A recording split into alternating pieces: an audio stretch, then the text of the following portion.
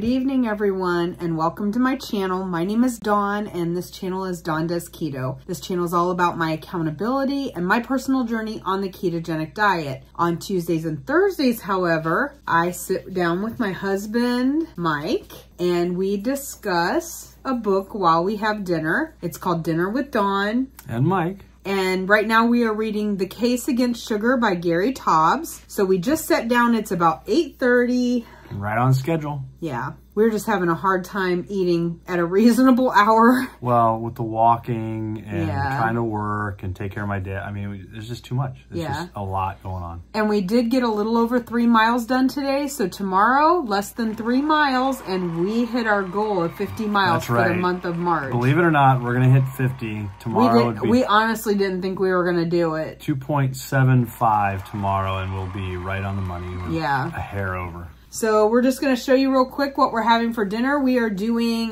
pork rind nachos. So these are keto nachos. And I just have taco meat that I have made with keto chow taco soup. And these are going to be really loud. You're going to be hearing us crunching. I put in one package of keto chow taco soup and I also added some primal kitchen taco seasoning to it. Mm-hmm. Do they taste taco-y? Yes, they do. Yeah, the meat has good flavor. Mhm. Mike's just has the meat and cheese because that's all that he eats. I have some sour cream and some spicy guacamole on mine as well. Very taco-y. I didn't use the Hungry Heath taco seasoning today because last time I used it, I, I burned Mike's face off.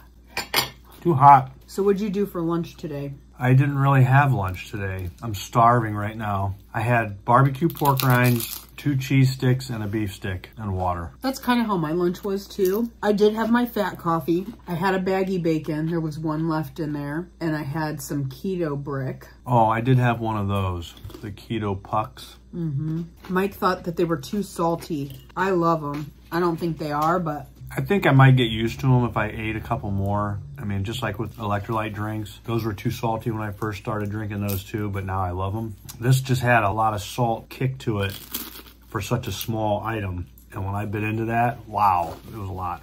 I also had some fresh mozzarella today too. So it was the keto bricks, the fresh mozzarella, the baggy bacon, and my fat coffee. So I was watching James and Emily at Ready Set Keto. I was watching their video today that they released on the raspberry cheesecake keto chow and they made like little fat bombs out of it with two sticks of butter and a package of keto chow. They melted together and then kind of make little pucks as well. Okay. So I think I'm going to try that this weekend and take those on my girls trip. Oh, I thought for a minute you said you were going to try, like, make them this weekend. No, no, no. I'm going to make them tomorrow before I leave and take them on my girls trip so that I have something sweet that I can snack on if they're if they're eating like cookies or, you know, something like that. Cuz although I said I was going to probably go off plan, like cookies and stuff like that, I just don't have any desire to eat anything like that. Most likely if I eat anything off plan, it will be more of like a savory thing, like the pizza or something like that. So I'm going to go ahead and take my own keto treats so that I at least have, you know, a sweet treat, but it would still be keto. So I'm going to make some of those tomorrow. I'm making them with chocolate toffee. So we'll see how those I think that out. makes a lot of sense too because I think you'll be more successful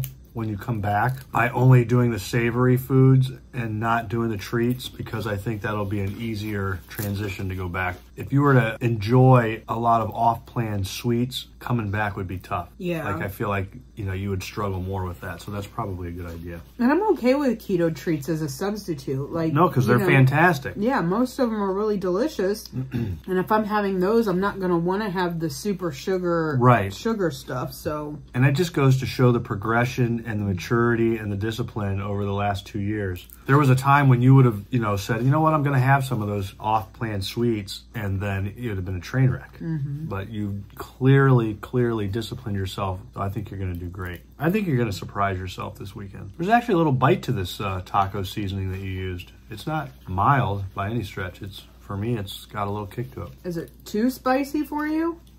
What are you drinking? The citrus electrolyte element. The element. Mm-hmm. What do you think of that one? Very good. You like it better than the watermelon? Yes. He had watermelon yesterday. Yeah, I drank watermelon, so we got, you know, these variety packs of element. You know, there are certain flavors that I like. Orange, that's my favorite, you know, flavor. But the raspberry's good because we have a lot of raspberry. So I've drank quite a bit of that. That's because I normally buy raspberry because I like the raspberry. So and it's good. But the variety pack had the watermelon, it has obviously the plain, it's got some exotic flavors that I will not try, but it also had citrus. I did the orange and I did the watermelon yesterday, and it was okay. I mean, if that's all we had, I would drink it. Not my favorite, but I would drink it. Citrus, very good. Now, Mike also adds a scoop of lemon Ultima to his element to give it more of a tart flavor. I only add the lemonade flavoring because we do that with the fruit punch Zipfizz, and I like that so much that I just feel like it adds a little di- dimension to the flavor of whatever it is. Have you you're- tried to drink one with just the element flavor in I have yet? not, no, and I don't see any reason to do that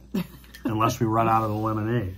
Which we might. We will soon, yeah. We're going to go ahead and jump into our book discussion because Mike still has to go back over and help his mom tonight. So I find it interesting. It says here that in the 1960s, researchers had discovered that people with heart disease were more likely to have abnormally elevated triglycerides in their blood. And they said another way to phrase it that a high triglyceride count, not cholesterol, was the more common abnormality associated with heart disease. And I find that interesting because that was in the 60s and now now they talk about, oh, if your cholesterol is high or your LDL is high or your HDL is high, when really, even then, they saw that it's really just your triglycerides. And right now, that's the big focus. They're saying, you know, you got to look at your remnant cholesterol and your triglycerides and that those other numbers don't matter. Right. But at some point, they did come to matter, and people, some doctors still, you know, make a big deal about your total cholesterol or your LDL or your HDL being a certain number when really at this point, you know, with all the research that I've heard, it's really just your triglycerides that you need to look at. And they saw that even in the 1960s. And these same researchers were also finding that the carbohydrate content of the diet played a critical role in what the triglycerides in the bloodstream were. In particular, they would remain elevated when people would eat carbohydrates, not fat. So, from this perspective, dietary fat seemed to have little or nothing to do with heart disease. Yet, this was before the big push for low fat and everything else. This was in the 60s. They were finding that fat had little to do with heart disease. Yeah, but it wasn't going to take them long to But then the Sugar Association came along right to get involved. and decided to make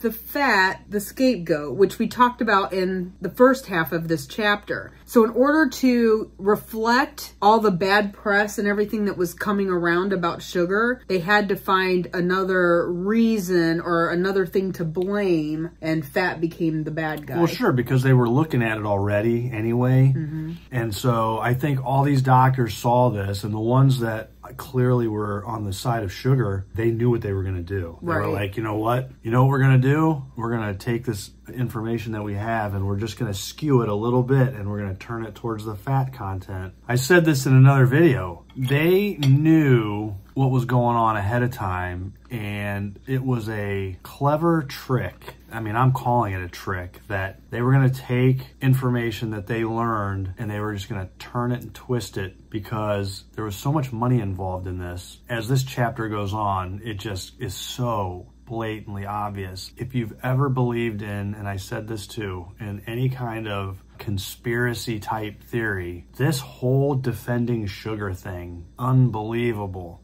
And, Yeah. you're, and you're going to see it as we progress through the rest of this chapter. So the Sugar Association first became concerned about the emerging evidence linking sugar to heart disease and diabetes in 1962. It said that the threat of competition from artificial sweeteners, particularly cyclamates, had made the research program on saccharin and cyclamates the Sugar Association's top priority because they were an immediate threat. And we kind of talked about this in the last chapter. And then we also talked about how the Sugar Association had different branches and they would change the name and, you know, different things like that. And how they were trying to recruit members to support and combat the accumulating evidence that researchers were finding against sugar consumption and how it was linked to heart disease and diabetes. So then in 1975, they were pulling their support and trying to figure out how they were going to spend their research money in the defense of sugar. But the effort to unite the world for sugar research was basically a failure. Right. It was not working well. But the sugar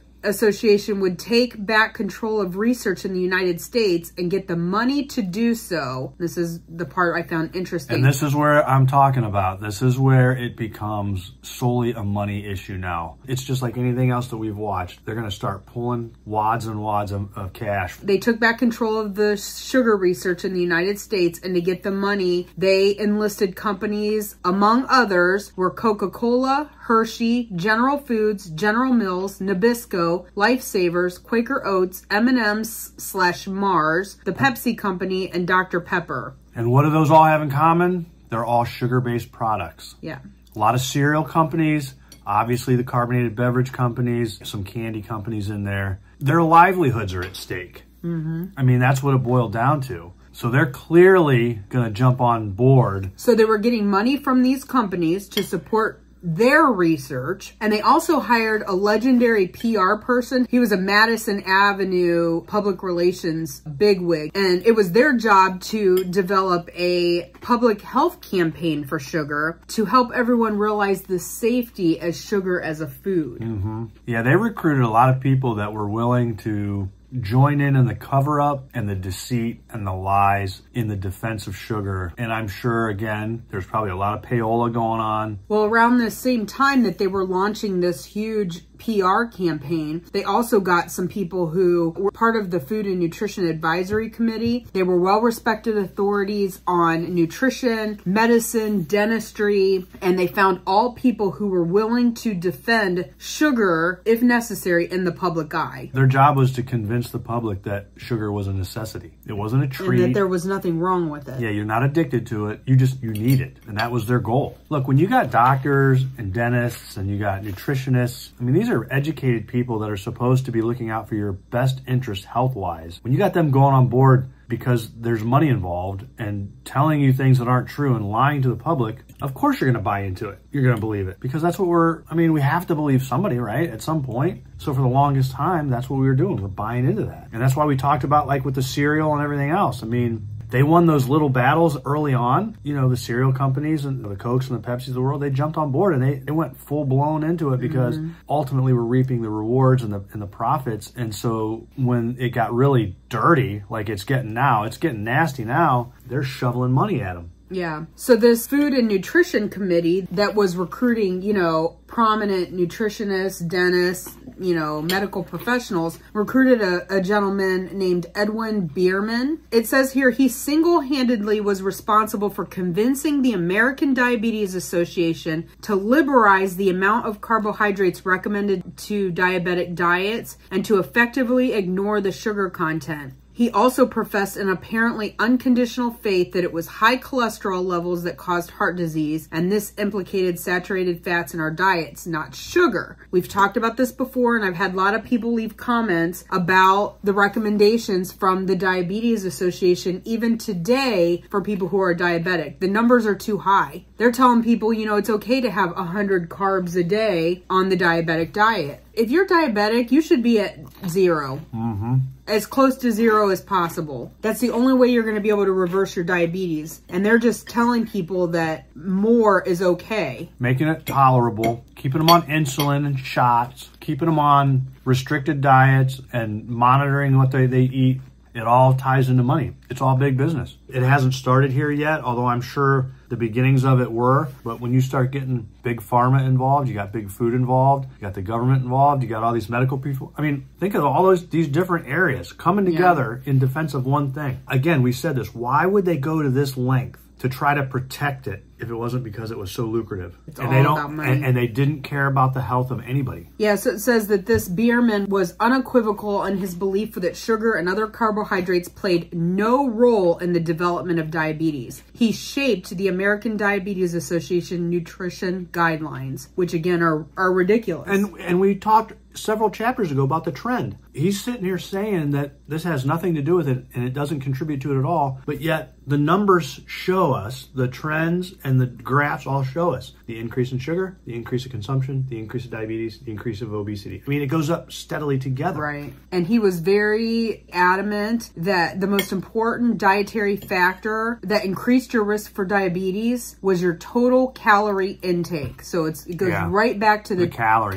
stuck on the calories calorie. In, calories out. And it was irrespective of source. That means doesn't matter where the calories come from. It's the fact that you're eating too much. That's what's causing And it. we learned earlier that not all calories are the same because it's not calorie is a measure of used energy. and we use all calories differently. Right, they burn differently, they break down differently, and yet here we are. You know, fast forward however many decades it was, and they're going right back to that old research and that old way of thinking in defense of something that is clearly a lie. So that sugar association, that nutrition committee, the point man for that was a gentleman by the name of Fred Stare. He was a longtime chairman of the Department of Nutrition at the Harvard School of Public Health. In 1960, the nutrition department broke ground. This is where Mike starts getting into the whole conspiracy thing and, you know, you scratch my back, I scratch Right. yours. In 1960, when Stare's Nutrition Department broke ground on a new $5 million building, the lead gift for that building was made by General Foods Corporation, the maker of Kool-Aid and Tang, And Tang. breakfast drink. Just a little over $1 million donated towards the construction of that building. Keep Now- in mind, this is in 1960, Now, so why why would a company take that much money and give it and invest it in a building for uh, a nutrition department Mm-hmm. if there wasn't something going on behind closed doors? Right. So it says here that Stare had become the most public defender of sugar. He said it was not even remotely true that modern sugar consumption contributes to poor health. And here's something else that you didn't even highlight. But to go along with that, more money was pouring in from others like Coca-Cola and Pepsi, the National Soft Drink Association. They even got money from the Tobacco Research Council because by doing so, they could also exonerate cigarettes as not being the cause of any kind of heart disease. They wanted him to include the fact Yeah. that tobacco was not a That it was- leading cause right. of, of heart disease. I mean, come on. And maybe it's because we know what we know now and I and I read this and I just it just I cringe. I feel like you can't be that stupid. You can't be that naive. You have to know.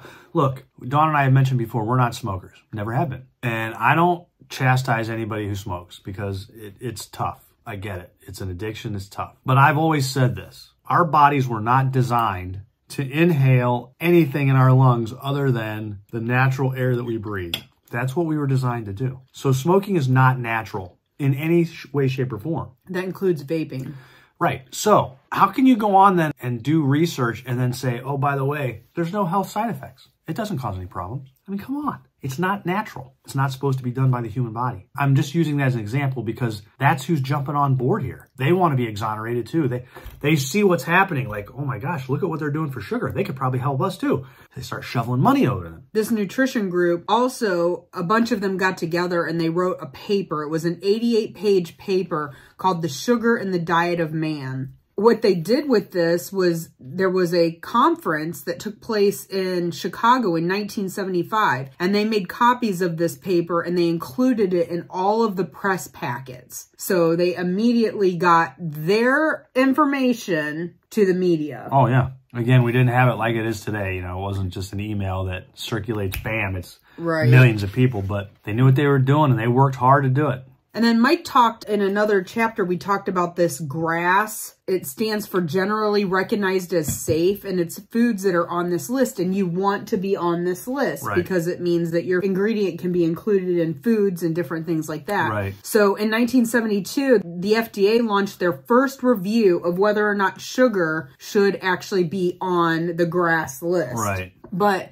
the FDA used this paper that we're talking about for a lot of their research. So that doesn't seem like it's unbiased research. They're using the paper that was written by people getting money from the sugar company Right. and using that as their Yeah, their main source of information. Yeah, the basis for whether or not sugar should be on the GRAS list. So it says the committee's review of sugar relied heavily on the Sugar Association's Sugar in the Diet of Man and its authors. So that's where they were getting their information from. Yeah, so I mean, already it's tainted, and now you got the government involved, and they have the power to decide whether or not it's going to be on the list or not. So, what do you think happened there? This review of whether or not sugar should be on that list, that went on for a long time. Yeah. Like this Well, wasn't mean, something that was decided overnight. No, because uh, again, there was a lot at stake. The sugar industry itself was not going to just sit back and let them make a decision. They were going to do everything they could to influence that decision, and they did. Yeah, it says a bulk of the sugar industry's efforts went to continuing public relations battle, and they concentrated their efforts on the FDA reports. But it does say that in the early 70s, the Sugar Association would actually lose that next battle in the war. There was a gentleman by the name of George McGovern. He had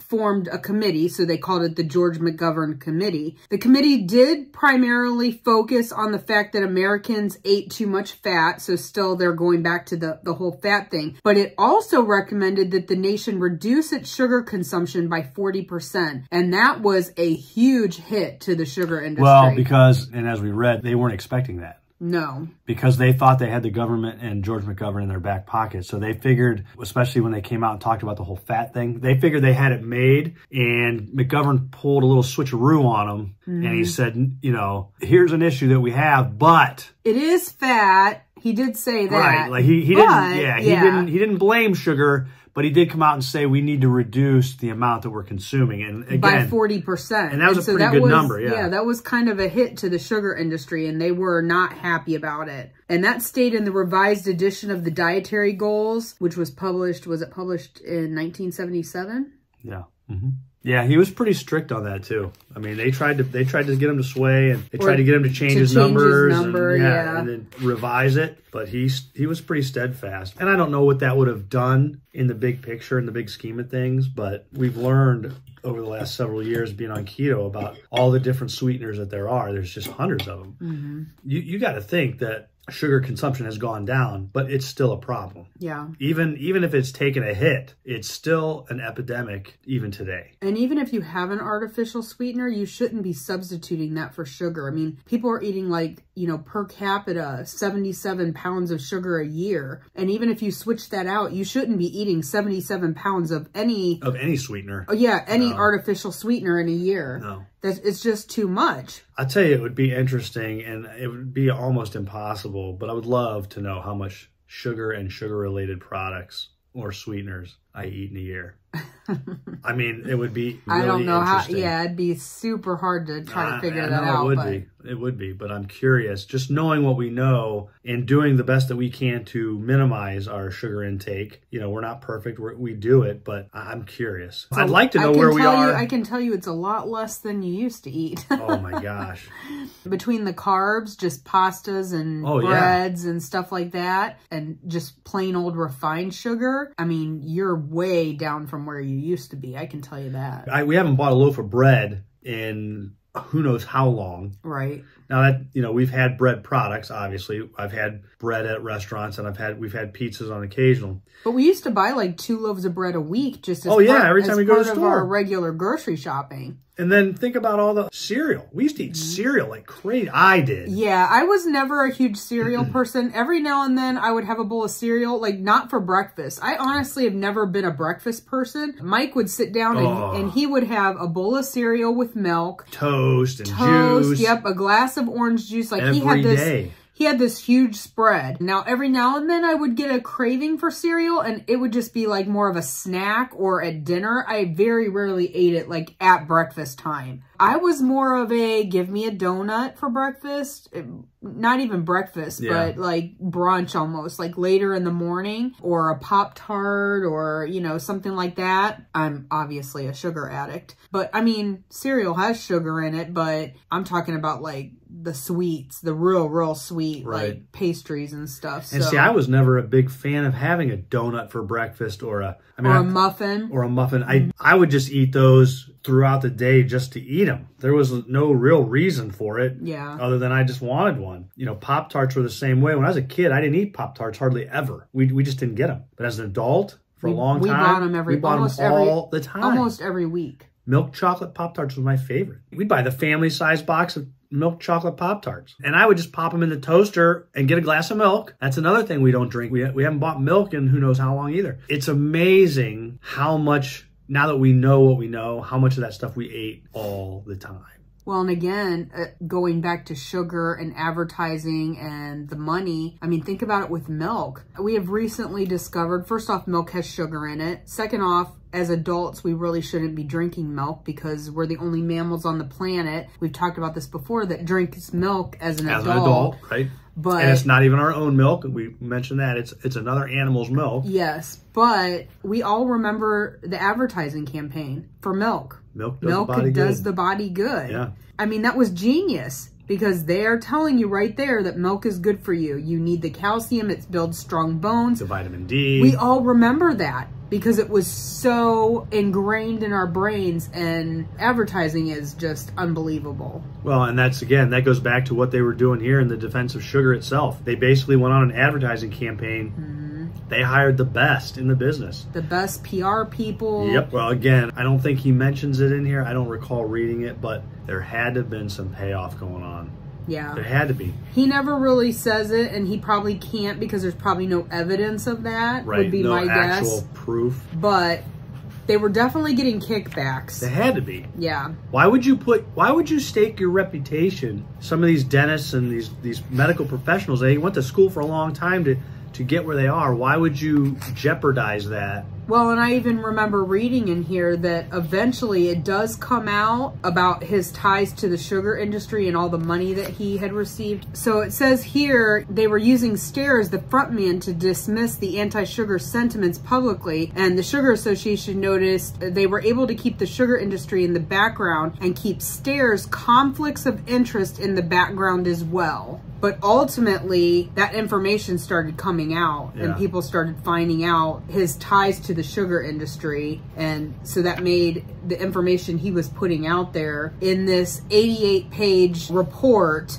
it made it very suspect for Yeah. sure. It says it over and over that his funding was kept well in the background. There was a confidential memo to hold and use for inquiries about bias or conflict of interest in the report that was sent by the Sugar Association to the directors of communications at sugar companies across the country, and his name was slapped all over it. Yeah, It says in 1976, his copious conflicts of interest were finally exposed right. That's what I was looking for. by an article, an article written by Michael Jacobson, founder of the Center for Science and the Public Interest. So, as we said before, you know, there were cracks already starting to form and everybody knew it, and that's why they went on the defensive here, and that's why they spent so much money trying to cover everything up. Well, we all know that eventually there's going to be more and more people that want to know the truth, and they start investigating and digging deeper, and they did, and it caught up with them. And this guy was just one of them. Him and his two colleagues, they went after Stare for like three years, I think. They just brought him down. They basically brought him down. When you say that there was behind the scenes, you know, money, we don't, again, we don't know that there was any actual payoffs, but there were definitely conflicts of interest. Absolutely. Yeah. And that was actually proven and found. So, So this chapter, it was a long chapter. It got really detailed in all the defense measures, all the money swapping, all the finger pointing. I mean, there's probably a good dozen people listed by name in this chapter that was involved in this whole thing. Not the most interesting to read. The information's interesting, but to sit down and read that and go through each individual scenario, that was tough. It's a tough read. But again, you're building a case here against sugar, and you have to go in there and you have to understand how much time was involved and how much effort was made. They wouldn't go through all this trouble if there wasn't legitimate reasons why, and, Right. and that's what we're trying to find out here. yeah. So that's it for chapter eight, guys. And we will dive into chapter nine next week. Yes, you're getting a little break this weekend, this Thursday, so enjoy that. I mean, I'm going to enjoy it as well. I mean, I'm not going to enjoy the fact that Dawn's going to be gone for four days. He's not gonna miss me at all. because I don't like to be by myself. So, and I'm not real fond of my dog because my dog's getting old and he struggles. He's not as lovey dovey as he used to be, so he probably won't want to hang out with me either. He just wants to go to the bathroom. He just wants to, yeah, he just wants to go to the bathroom. He's getting doggy dementia, and he just seems very confused all the time. And he'll like walk into a corner and then not be able to get out of the corner. It's just so you're constantly like telling him what to do and trying to guide. so guide he just him. lays down and- a lot. Yeah. So anyway, I hope you guys all have a great weekend. And I will see you in Tuesday's video, which will just be like a regular Tuesday update. Right, that and we that'll be the one do. that you look forward to very much. I think we all are going to look forward to that video. Oh, my way. It took me a second. My weigh in on Monday after We're all going to be curious to see how your weekend went. I mean, let's be real. We are. Yeah. Because we know you're gone. You've made a commitment. You've also said, hey, look, I'm going to enjoy the weekend and I'm going to go off plan a little bit. So I think as fans of your channel and also because I'm your husband, I think we're all looking forward to see how this turns out. And hey, look, I told you also, you're not going to be here to kind of help keep me on track. I'm just warning everybody out there. I am probably not going to do real well this weekend either because Do I you anticipate yourself completely going off the rails? Like have- you're not going to eat keto at all? No, but I don't have anybody here, anybody here to even say, Mike, what are you doing? Our kids Well, are the gone and thing there won't be anybody here. Mostly, you know, we eat at home, and when we cook, we always eat keto. But I won't be here, and we No. won't be eating at home. That's what so- Hmm. I mean. Probably not. We have a few things that I can make. I think we've explained this a million times. Neither one of us like to cook, and if you're not here, that makes it even easier not to cook. So it's going to be an interesting weekend for us both. Yeah, so stay tuned, everyone, for, the that entertaining the, the video. Monday weigh-ins Yeah. for both of us. Actually, if you like this video, please give it a big thumbs up. Subscribe to my channel if you haven't done that already. Hit the bell notification. That way, when our next video does come out, you will be alerted to it. Bye, guys. Good night.